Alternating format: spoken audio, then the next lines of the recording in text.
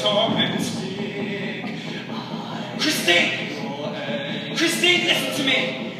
This man, this thing is not your father. Let him go. For God's sake, let him go. Christine!